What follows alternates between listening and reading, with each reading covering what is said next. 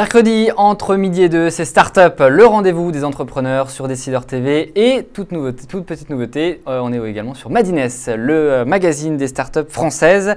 Nous sommes en direct, vous avez donc la parole tout au long de cette émission via le chat à côté de cette vidéo. Et je rappelle que si vous posez une question en étant connecté à votre compte Décideur TV, vous avez la possibilité de gagner le téléphone des décideurs offert par notre partenaire Invoxia. Et nous allons faire le tirage au sort à la fin de cette émission du mois précédent. La société de consommation est-elle à bout de souffle et va-t-elle laisser la place à une société du partage? C'est tout le pari que font de nombreux entrepreneurs du web qui se lancent dans ce qu'on appelle aujourd'hui la consommation collaborative, avec un slogan partager entre particuliers plutôt qu'acheter. Alors, est-ce le nouvel Eldorado de, des startups? C'est la question que nous allons poser dans cette émission. Et pour nous parler de ce phénomène qui n'est certes pas nouveau mais qui est en plein essor, Marion Carrette, bonjour. Bonjour une des pionnières en France de la tendance, puisque vous avez fondé en 2007 Ziloc, le premier site de location entre particuliers, et vous venez également de lancer euh, Wicar, le euh, location de voitures entre particuliers. Exactement. À vos côtés, Olivier Grémillon, bonjour. Bonjour. Directeur France d'Airbnb, la plateforme communautaire de réservation et de euh, location de logements entre particuliers, fondée en 2008 aux États-Unis et qui connaît un succès phénoménal en moins de 5 ans. La société serait valorisée 2,5 milliards d'euros une sacrée réussite. Benjamin Tinck à vos côtés, bonjour. Bonjour. Cofondateur de WeShare, le média qui fédère la communauté de la consommation collaborative. Vous serez donc euh, l'intervenant expert de cette émission. Et j'annonce euh, au passage la première conférence euh, de l'économie collaborative en Europe que vous organisez le 3, 4, 2, 3, 4 mai à Paris au Cabaret Sauvage. Exactement. C'est bien ça? On est d'accord. Je vais commencer cette émission avec vous, Marion. je le disais, vous avez lancé Ziloc en 2007 à cause d'un problème de perceuse un dimanche. C'est bien ça? Racontez-nous. C'est ça. En fait, on avait un miroir à accrocher un dimanche. Pas de perceuse évidemment, et euh, un peu timide, donc pas forcément envie d'aller frapper chez les voisins. Et on s'est dit, c'est dommage, il y a forcément des perceuses autour de nous. Ça serait sympa d'avoir finalement une base de données avec tous les objets qui existent dans un périmètre euh, de quelques kilomètres. Et, voilà comment est née l'idée de Ziloc. Donc en 2007, donc très très tôt. Maintenant, il y a 150 000 membres, vous me dites si je me 200 trompe 000. 200 000 maintenant, ça avance très vite. 200 000 objets également vendus. Exactement. Et, puis euh, à peu près 300 000 visites chaque mois. Très bien. Olivier, la jeunesse d'Airbnb aussi, c'est une histoire assez surprenante, hein, euh, une sorte de matelas pneumatique à San Francisco. Racontez-nous. Oui, exactement. Alors ça vient d'un besoin assez basique aussi, comme, euh, comme celui de Marion, qui était que deux de nos fondateurs, à un moment, se sont dit on va lancer une entreprise ensemble. ils n'avaient pas vraiment d'idée à ce moment-là, mmh. mais ils avaient une chambre libre chez eux. et leur loyer en plus venait d'augmenter de, 25% du mmh. jour au lendemain. Donc ils se sont dit, bah, euh, pourquoi on met pas, on n'en fait pas un bed and breakfast, une chambre d'hôte un peu euh, pendant euh, la durée d'une conférence qui mm. avait lieu quelques semaines plus tard? Sur le design, oui. Voilà, tout à fait. Et le problème, c'est qu'ils ont réalisé qu'ils n'avaient pas de lit dans, leur, dans cette chambre-là, mais ils avaient des matelas pneumatiques, donc des airbeds en anglais, mm-hmm. et d'où a été créé le nom Airbed and Breakfast, qui est devenu Airbnb derrière. Ils ont accueilli pendant une semaine quatre personnes qui sont mm. venues loger chez eux. Voilà, ça c'était au début. Maintenant, 10 millions de nuitées en juin dernier, une réservation toutes les deux secondes. Alors peut-être que ça depuis. Hein, oui, normalement ça, normalement ça accélère. On est à peu près à plus de 4 millions de voyageurs qui ont euh, utilisé Airbnb euh, depuis sa création, dont 3 millions juste en 2012. Euh, donc clairement une croissance. 1 million en France, c'est ça aussi, si on parle du marché français? Alors le marché français est le deuxième marché pour Airbnb après les, après les États-Unis, qui, croit, qui croit aussi, aussi très bien. On a plus de 300 000 logements dans le monde aujourd'hui, donc mm. dans 192 pays, donc il y a vraiment du choix. Benjamin, cette tendance, comme je le disais en introduction, elle ne date pas d'hier. On parlait du peer-to-peer il y a une dizaine d'années. Le troc, on n'en parle même plus, c'était dans, les Antiquités. Pourquoi est-ce qu'on en parle autant aujourd'hui? Est-ce qu'il euh, y a des, phénomènes qui expliquent cela? Bah, Effectivement, toutes ces formes d'échange, que ce soit le troc, le partage, euh, euh, la revente, etc., entre particuliers, ça existe depuis très longtemps. La grosse mhm. différence aujourd'hui, c'est Internet. C'est ce que permet la technologie, qui permet tout simplement de connecter une offre et une demande entre particuliers à une échelle locale, donc de trouver à côté de chez vous la perceuse, de trouver le logement dans la ville où vous souhaitez séjourner, assez simplement. Et puis, c'est également des, plateformes et des technologies qui permettent ben, de d'établir la confiance pour faciliter et fluidifier ces échanges entre particuliers mhm. avec tout un système d'avis, de profils, d'historique, de transactions, etc. Alors justement, on va essayer de rentrer dans cette émission sur, sur le cœur de, votre activité justement pour euh, donner la, faire un peu une boîte à outils pour les entrepreneurs qui veulent se lancer sur cette euh, tendance. Première question sur l'évangélisation. Marion, euh, comment est-ce qu'on fait pour motiver des personnes à prêter leur perceuse à des inconnus finalement. Oui, alors c'est euh, pour moi c'est le plus, le plus gros enjeu, euh, c'est de faire euh, changer les mentalités des gens. C'est-à-dire qu'aujourd'hui, on a besoin d'une perceuse. Globalement, il y a encore beaucoup de gens qui se disent bon, je vais aller l'acheter. et nous, on arrive avec une autre proposition qui est de se dire bah, vous avez besoin d'une perceuse, super. Mm. Vous avez besoin d'une voiture, encore mieux. on va pas changer le besoin, mais on va changer la façon de se procurer cet objet-là. Et, dire à des propriétaires bah voilà, vous allez pouvoir gagner de l'argent avec des objets qui dorment chez vous. C'est un discours qui est assez séduisant, notamment en période de crise. Mm mais qui n'est pas encore assez euh, valorisant. La location, euh, le premier réflexe de tout le monde, c'est encore aller acheter. Et donc nous, on se bat depuis 5 ans pour que euh, bah, on inverse la tendance et qu'on se dise, bah voilà, il y a d'autres formes de consommation et la, location en fait partie. Olivier, on parlait de, confiance notamment. Je pense que c'est avec le profil utilisateur notamment, c'est quelque chose de très crucial au cœur du business model justement d'Airbnb. Oui, c'est vrai que tout ce qui est location entre particuliers, la confiance est clé et elle est d'autant plus quand c'est une voiture dans le cas de Wicar par exemple ou euh, un logement dans le cas d'Airbnb mm. puisqu'on on loue quand même quelque chose auquel on tient énormément, peut-être un tout petit peu plus qu'une perceuse. Euh, mais du coup, euh, tout ce qui peut être fait pour augmenter la confiance, pour que les gens franchissent le pas de mettre des, mettre des biens en location, c'est vrai que c'est essentiel.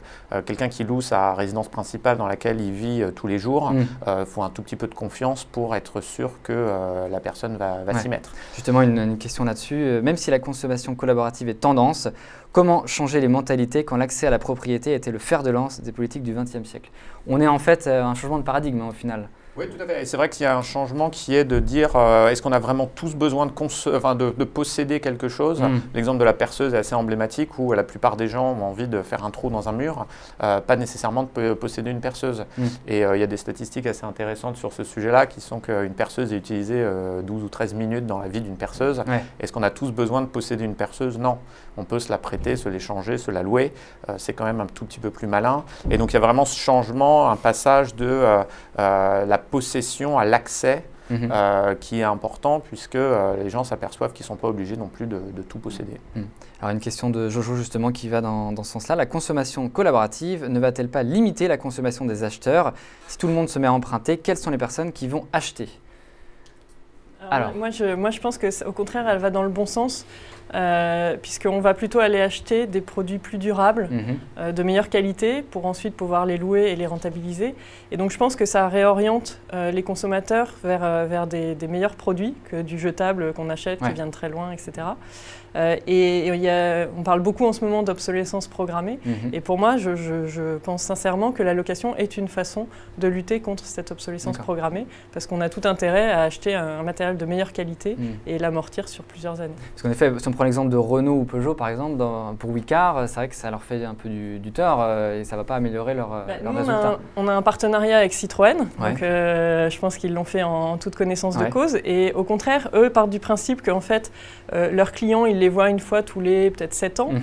Euh, avec un, modèle comme le nôtre, ils, changent un petit peu de, paradigme, encore une fois, en, disant à leurs clients, votre voiture n'est pas qu'un centre de coût, elle peut aussi vous rapporter de l'argent.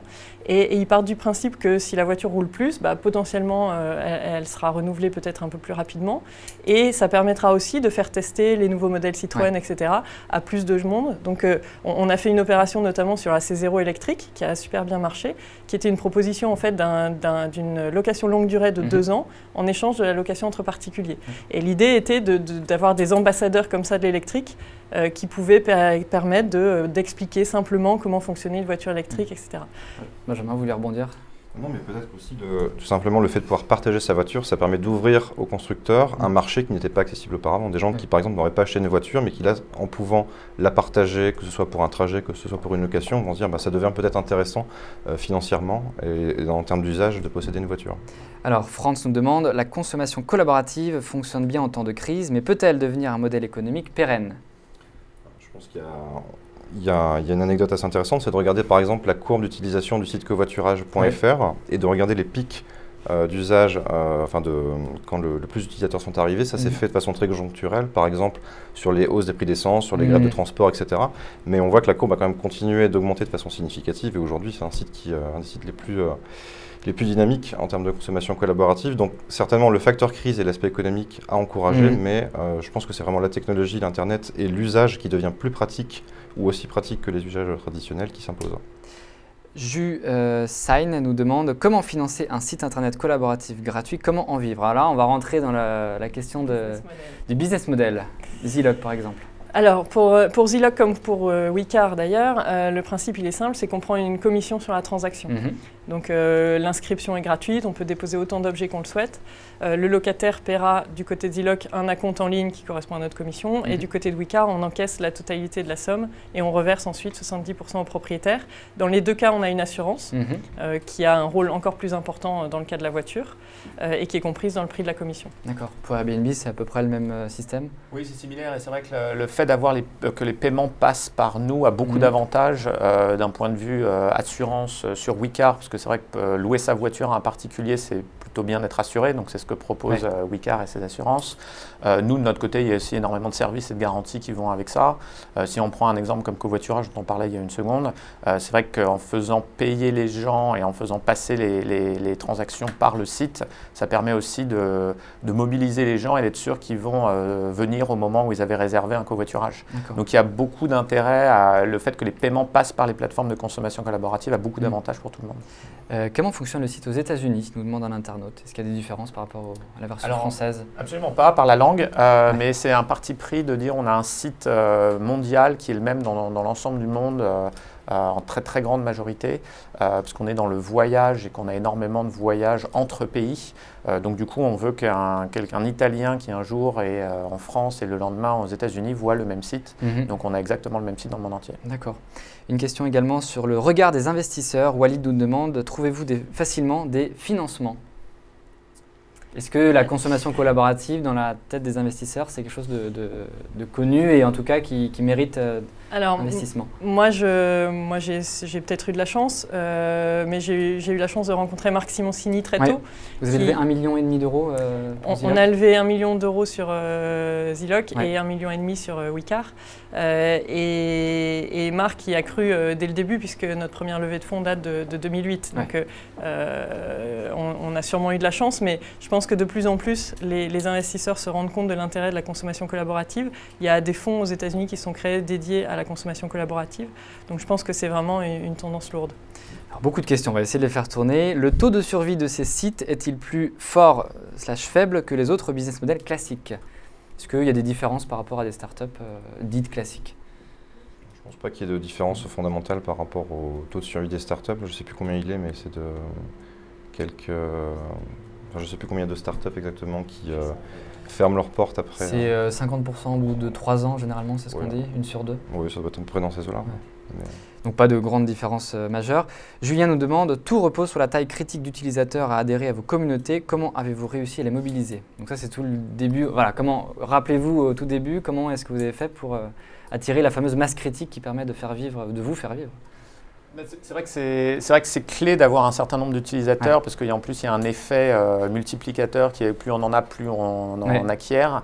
Euh, je pense que la clé c'est d'avoir un service où les gens sont contents et du coup euh, un ils reviennent et deux ils en parlent autour d'eux. Si on prend le cas d'Airbnb, notre l'essentiel de notre croissance est fait de manière organique et par mhm. bouche à oreille, ce qui a un intérêt bien sûr économique, c'est-à-dire qu'on n'a pas à acquérir des utilisateurs en payant. Euh, c'est un intérêt aussi beaucoup plus important. C'est-à-dire que comme on est dans la location de la maison des gens, euh, entre avoir une pub à la télé qui vous dit euh, mettez votre appartement sur Airbnb ou avoir votre meilleur ami qui vous dit bah, je fais ça depuis trois mois et c'est génial, il y en a un qui a un tout petit peu plus de poids et qui mmh. permet que les gens franchissent le pas. Donc cet aspect bouche à oreille est essentiel dans beaucoup de nos business. D'autant que les utilisateurs deviennent très souvent des hôtes après, c'est ça? Il y a une transformation qui s'effectue. Il y a beaucoup de, de, nos hôtes qui, sont, qui étaient utilisateurs au début. par exemple, la manière dont on s'est développé en France, puisqu'on avait des utilisateurs dès 2008-2009 en mmh. France, alors qu'on a ouvert un bureau début 2012, euh, c'est quelqu'un qui euh, typiquement allait aux États-Unis, passait une semaine et puis se réalisait qu'il euh, il avait laissé son appartement en plein centre de Bordeaux, de Lyon ou de Paris vide. Mhm. il se dit bah, pourquoi la prochaine fois je ne ferai pas la même chose quand je m'en vais?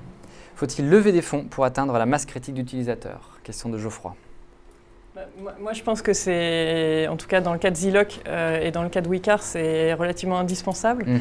Euh, Pour quel type de... Enfin, qu'est-ce que vous avez financé justement avec cette levée de fonds? Qu'est-ce qui a permis? En fait, si on, si on prend Ziloc, Ziloc c'est le cas le plus compliqué parce que finalement Wicar et, et, Airbnb, on est sur une catégorie d'objets. C'est, mhm. euh, voilà, on, se focus, c'est, un peu plus simple. Sur, sur Ziloc, on a 700 catégories d'objets. Mhm. quand on va se louer une tronçonneuse, un vélo, un lit bébé, il faut que l'objet soit vraiment à proximité. Donc ça demande une masse d'objets euh, assez importante sur chacune des catégories.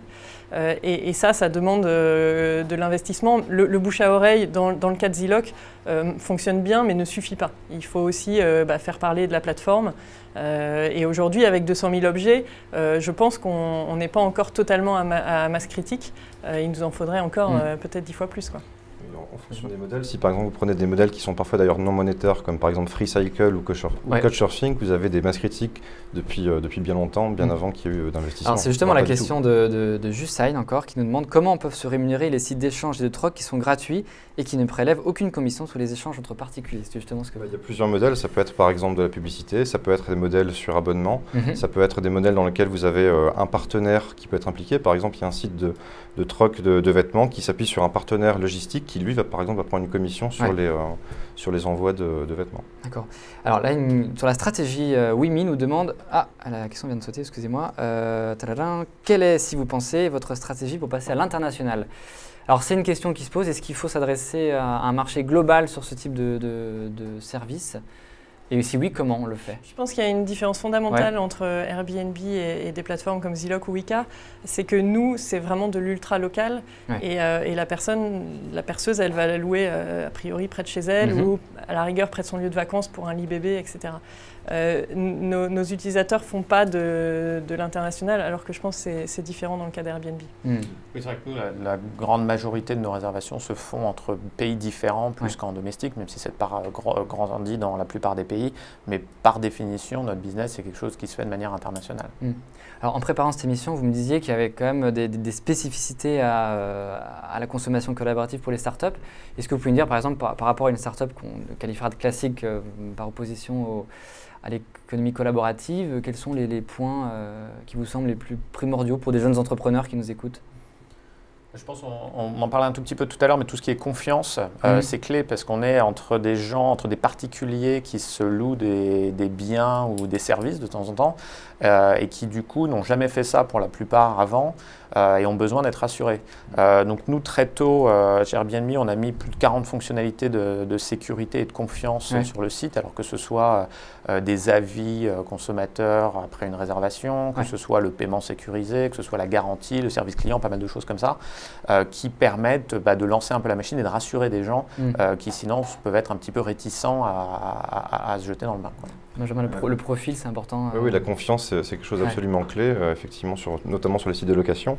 Après, on, a, on parlait tout à l'heure effectivement de comment construire la plateforme. Euh, mhm. typiquement, est-ce que je vais commencer plutôt par l'offre et par la demande au tout début? Ça, c'est des problématiques de plateforme qui sont assez, euh, assez classiques. Et puis, bien sûr, le rôle de la communauté, c'est vraiment des modèles sur lesquels euh, la communauté, son animation, que ce soit en ligne, mhm. que ce soit avec un programme d'ambassadeur, que ce soit avec des événements, est très importante. Alors, on a beaucoup de questions. c'est plutôt pour Airbnb d'ailleurs, ce type de questions. Lulu, par exemple, nous demande quel est votre discours vis-à-vis des professionnels, maisons d'hôtes, gîtes, BNB, qui grincent des dents en voyant des particuliers s'inventer hôteliers sans, savoir sans avoir à passer par les étapes administratives obligatoires? Alors la question de la loi, en effet, euh, il y a quelques hôteliers qui, euh, qui accusent Airbnb de faire de la concurrence déloyale. Qu'est-ce que vous leur répondez? Alors, il y, a deux choses différentes. Il y a l'aspect euh, pour des chambres d'hôtes, par exemple, on a énormément de chambres d'hôtes qui mhm. utilisent Airbnb comme un nouveau vecteur. Un de revenus pour, euh, voilà, pour, se, pour se faire connaître. Parce que quand on est une chambre d'hôtes, c'est bien d'avoir un site internet, mais il faut aussi arriver à le référencer et autres. Euh, donc, il y en a beaucoup d'entre eux qui se disent bah, je vais mettre ma chambre d'hôte sur Airbnb, ce qui me permettra de toucher plus de gens en France et à l'étranger. Mhm. donc, ça permet, ça permet de voilà, avoir une portée beaucoup plus large. sur l'hôtellerie, honnêtement, on est sur des, des marchés différents et en fait complémentaires. C'est-à-dire quelqu'un qui loue un logement sur Airbnb, c'est pas la même personne ou c'est pas pour les mêmes usages que quelqu'un qui va à l'hôtel. donc on, on, présente vraiment ça comme une offre complémentaire pour des usages différents. Si je prends l'exemple d'une famille avec deux enfants qui vient mhm. passer une semaine dans une grande ville, c'est vrai qu'il y a énormément d'avantages à louer un appartement, rien que d'un point de vue praticité, mhm. être tous dans le même appartement, pouvoir se faire à manger et pas aller au restaurant matin, mhm. midi et soir, c'est vrai que c'est quand même beaucoup plus pratique. Et on a également les, des mairies, et par exemple la mairie de San Francisco, je crois, euh, qui euh, il y avait un problème aussi de taxes de séjour. Comment est-ce que ça, euh, ça c'est pas de votre ressort, mais comment est-ce que vous pouvez faire face à ça? Voilà, donc il y, a pas mal de discussions en ce moment dans, beaucoup de villes dans le monde sur, bah, c'est un nouveau phénomène et comment, et comment ça s'inscrit dans le paysage actuel. Mhm. donc il y a des discussions sur des taxes de séjour, il y a des, pas mal de discussions sur l'urbanisme et sur pas mal de choses mhm. qui ont vocation à aboutir assez prochainement, parce que voilà, ça devient un phénomène qui est quand même assez, assez important, et c'est normal que ce soit mis dans un cadre qui soit aussi approprié. Donc le cadre est en train de se former justement en, réponse à cela. Comment réagissez-vous face aux litiges dont sont victimes les utilisateurs, comme par exemple les vols d'objets? Alors c'est ce qu'on parle, on parle de la confiance. C'est vrai que des fois il peut arriver que si une perceuse est cassée, par exemple, comment est-ce que ça se passe? Alors nous, il y a une assurance, j'en parlais, euh, qui couvre euh, la casse, euh, etc. Mhm. Il y a un système de caution, c'est pareil, hein, on a beaucoup travaillé la confiance, puisque quand, on, quand on sondait un petit peu nos utilisateurs, le seul et unique frein, c'était dans quel état je vais retrouver mon objet. Et donc on, a, on a beaucoup travaillé ça avec un contrat qui est édité automatiquement, un système d'évaluation qui permet de savoir un peu à qui mhm. vous avez affaire, et puis aussi de, de, juger l'objet, puisque à la différence d'une plateforme d'achat-vente, bah, l'objet il va rester en ligne et donc c'est important de savoir si la perceuse fonctionnait correctement. Mhm. On parle beaucoup de la perceuse, mais il y a plein d'autres objets. Euh, Entre autres. Il y, a cette fameuse assurance. Donc euh, globalement, euh, on a un, taux de sinistre qui est extrêmement faible. Mhm. Question... Et, je rajouterai un truc, c'est que les gens se font beaucoup plus confiance parce qu'ils ont rencontré le propriétaire, mm. qu'il leur a confié l'objet, qu'il leur a expliqué éventuellement comment il fonctionne, etc. Il y a une rencontre physique Il y a une rencontre physique, et donc les, gens se sentent responsabilisés, donc font beaucoup plus attention. Mais juste sur ce point-là, c'est vrai qu'il y a énormément, enfin il y a très très peu de sinistres en fait sur le nombre de, mm-hmm. réservations sur la, différentes plateformes, mais avoir une assurance ou une garantie dans notre cas mm. euh, qui couvre les biens jusqu'à 700 000 euros euh, s'il y a des vols ou des dégradations, ça rassure énormément les gens. Même si au final il se passe pratiquement jamais rien, euh, c'est vrai que c'est quelque chose de de très important dans le, à mettre en place très tôt. Question pour Benjamin. Alors attention, Sébastien de Nantes, mais important. Bonjour. Quels sont les euh, business models euh, de consommation collaborative inexplorés en France? Donc, euh, Sébastien aimerait se lancer sur ce secteur. Est-ce qu'il y a des, des, des, niches encore qui n'ont pas été explorées par... Alors, est-ce que c'est inexploré en France? En tout cas, il y a, il y a pas mal de modèles un petit peu nouveaux, un peu émergents aujourd'hui qui commencent à se développer. Mhm. Euh, par exemple, euh, euh, dans, les choses un peu amusantes qu'on voit en ce moment, il y a les, systèmes qui permettent de, confier votre, la garde de votre chien à quelqu'un d'autre pendant que vous partez en vacances.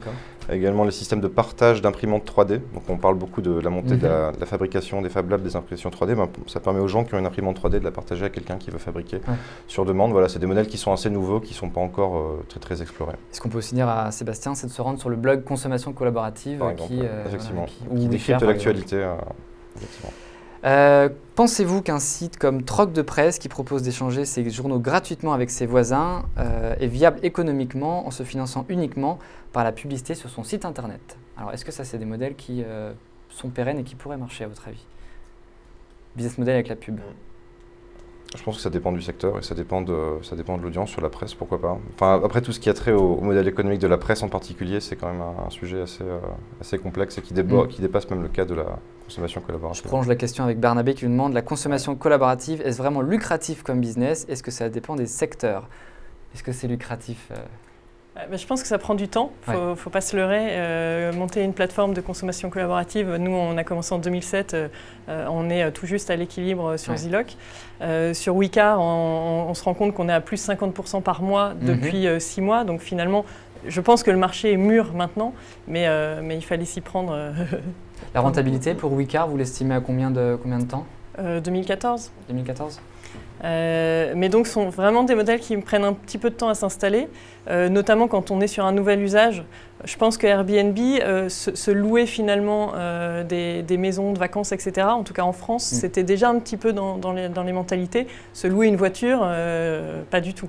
Donc il y a aussi ce, ce passage-là, c'est nouvel usage, et ensuite construire la plateforme. Et après, sur tous ces modèles effectivement qui s'appuient sur, la, sur la, une commission sur la transaction, ça va être d'autant plus facile que l'objet ou que le bien va être euh, euh, fortement valorisé, donc comme une voiture, comme un, appartement, ou qu'il va y avoir une masse critique. Après, sur des sites qui sont plus sur le, par exemple sur le service ou sur l'expérience entre particuliers, ben là vous avez besoin d'une masse critique qui est beaucoup plus importante pour avoir un volume d'affaires suffisant.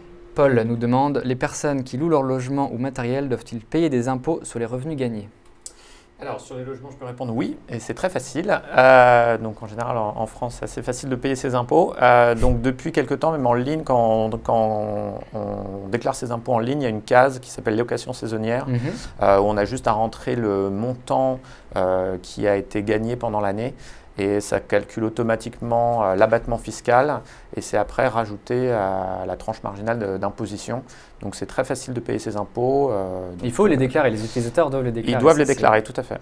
Et est-ce qu'ils peuvent en vivre aussi de ça? C'est une question qui revient aussi. Euh, est-ce que les utilisateurs peuvent vivre d'une activité sur Airbnb par exemple? Alors nous, on a des gens, euh, j'ai le cas d'une personne qui a une chambre euh, chez elle à Paris, une chambre d'hôte, qui mhm. est à la retraite et du coup pour elle, ça fait un complément de revenu non négligeable parce qu'elle reçoit pas mal de gens chez elle. tout à fait. pensez-vous, Arnaud nous demande, pensez-vous que la consommation collaborative peut s'ouvrir au B2B business to business entre euh, deux il, y a, déjà, il y a déjà effectivement des modèles aujourd'hui qui sont vraiment sur le B2B, que ce soit par exemple, vous prenez une startup qui s'appelle Bureau à partager, qui permet euh, aux entreprises de se louer euh, des bureaux. Vous avez une, une, entreprise néerlandaise qui s'appelle Flow, qui sert à échanger des biens entre entreprises, à louer des biens. Mhm.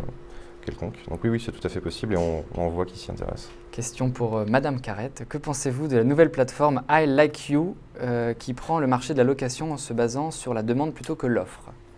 Est-ce que vous connaissez I Like You I lock, You, pardon. Je leur souhaite bon courage. Il y a de la concurrence entre vous deux. Euh, existe-t-il des incubateurs pour les entreprises qui veulent développer un site de consommation collaborative? Benjamin, est-ce qu'on a des spécialisations sur cette... Euh, des incubateurs spécialisés sur la consommation collaborative, pas à ma connaissance, mais les incubateurs s'y intéressent fortement. C'est à créer, Julien, si euh, tu veux créer cet incubateur. Euh, alors encore une question pour Marion. Où en êtes-vous dans le développement de la géolocalisation d'une application iPhone notamment? Alors, elle est, euh, elle est euh, en ligne pour Wicar en version 0, on va dire. Pour Ziloc, on ne l'a pas encore développé. Euh, c'est assez compliqué pour Zilog parce qu'avec 700 catégories d'objets, etc., c'est beaucoup plus lourd. Euh, mais c'est un, projet pour 2013. Euh, Alors, je, juste, c'était une question de Sofiane qui disait qu'il avait postulé chez vous pour un stage. J'ai dit au passage. Sébastien, toujours, la consommation collaborative est-elle tendance grâce à la crise? Cette tendance peut-elle retomber? Alors, on avait déjà d'une certaine manière répondu à cette question.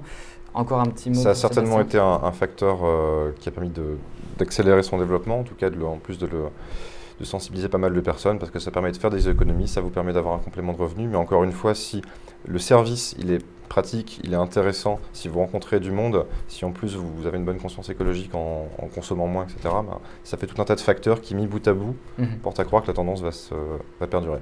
Et, juste un, complément là-dessus, c'est vrai qu'il y a l'aspect un petit peu écologique, entre guillemets, où on se dit bon, on utilise mieux les ressources et qui résonne avec quelques, quelques personnes. Euh, il y a l'aspect aussi de, de, se dire, avant il y avait peut-être un, un stigma social où on se disait bah, si je loue, c'est que les gens vont croire que j'ai besoin d'argent et que voilà. Là, on voit de plus en plus de gens qui sont qui absolument pas besoin d'argent mmh. et qui le font et ça apparaît comme étant plus quelque chose de malin. Euh, donc il n'y a plus vraiment ce stigma social qu'on avait avant de se dire mmh. bah, si la personne le fait, elle a peut-être besoin d'argent.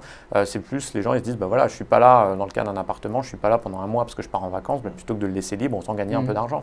Et que ça, on en parle dans les dîners aussi plus, alors qu'avant on essayait peut-être un peu plus de le cacher. C'est quoi justement le profil, votre clientèle? Est-ce qu'on est sur du, il y a des catégorie ou c'est tout le monde qui est, concerné dans, le cas de, de Ziloc et Wicar, c'est vraiment tout le monde. Euh, on, a... on, dirait plutôt c'est 30-40 ans, mais je ne sais pas si c'est ce qu'on non, non, souvent, euh pour, pour Zilog, déjà, ça dépend un petit peu des, catégories d'objets, parce que ça ne va pas être la même chose sur le bricolage ou sur le matériel high-tech ou sur euh, la puériculture.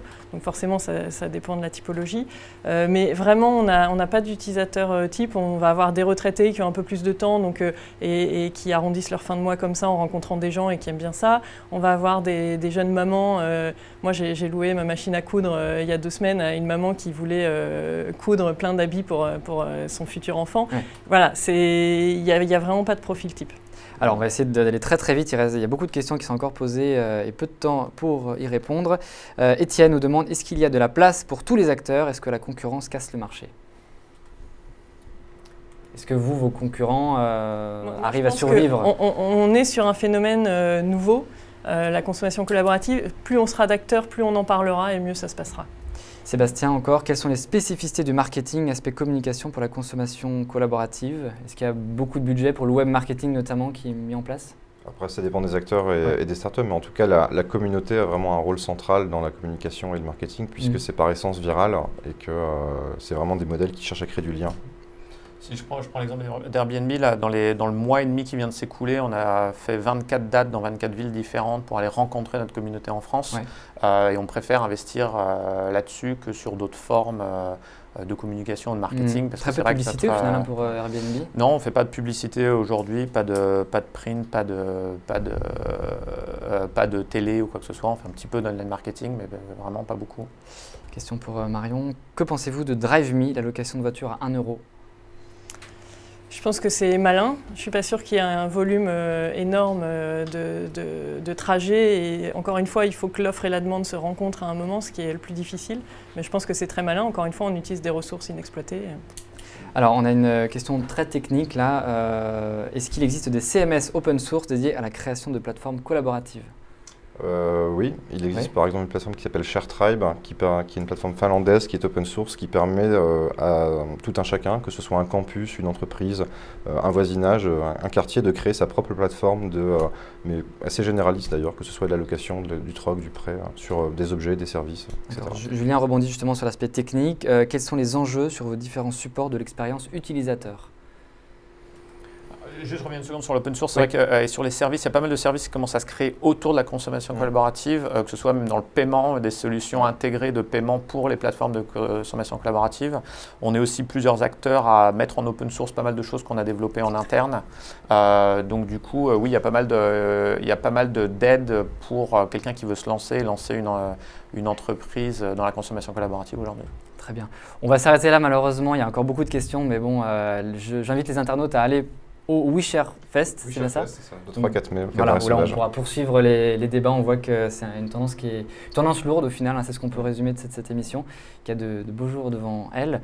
Euh, on finit cette émission par le fameux tirage au sort. Qui veut s'y coller euh, Allez, Marion. Qu'est-ce qu'il faut faire? Il faut tirer au sort la, le nom de la personne qui sera euh, le gagnant du téléphone Invoxia c'est Marie-Clem. Marie-Clem, eh bien, euh, félicitations. Tu as gagné ce téléphone Invoxia offert par notre euh, partenaire. Nous allons te contacter dans les prochaines semaines pour que tu puisses le recevoir. Merci à vous d'avoir participé à cette émission. Euh, bon courage pour le bon vent pour vos startups qui se développent. Et merci à vous également, les internautes, pour vos questions. Je vous donne rendez-vous à 12h30, exceptionnellement mardi prochain et non mercredi, c'est le 1er mai. Nous parlerons de la persévérance de l'entrepreneur avec Sébastien Forest de Allo Resto et Yoram Moyal de Buzzcard, deux entrepreneurs dont la startup a failli couler, mais euh, dont vous connaissez aujourd'hui la réussite. Bon appétit, bonne journée et très bonne journée à vous.